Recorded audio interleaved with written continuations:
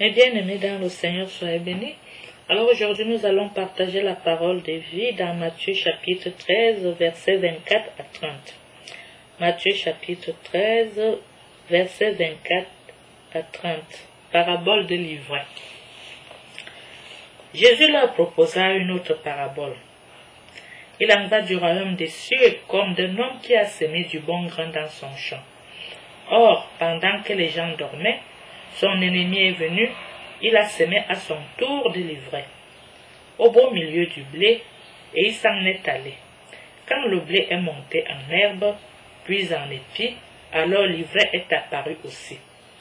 S'approchant, les serviteurs du propriétaire lui dirent, Maître, n'est-ce pas du bon grain que tu as semé dans ton champ?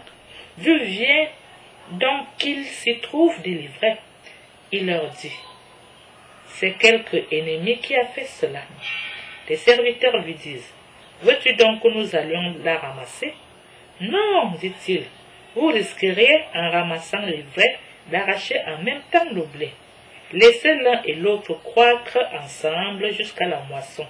Et au moment de la moisson, je dirai au moissonneur, ramassez d'abord les vrais et liez-la en botte que l'on fera brûler. Quant au blé, recueillez-le dans mon grenier.